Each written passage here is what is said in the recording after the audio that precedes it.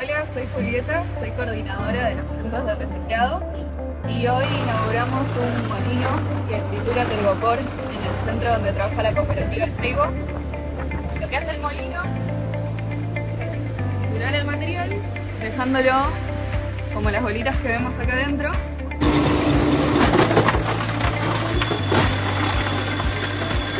lo que hace es agregarle valor al material que enfardado o sin procesar se podría vender de una manera y ahora que está triturado se puede vender a mayor valor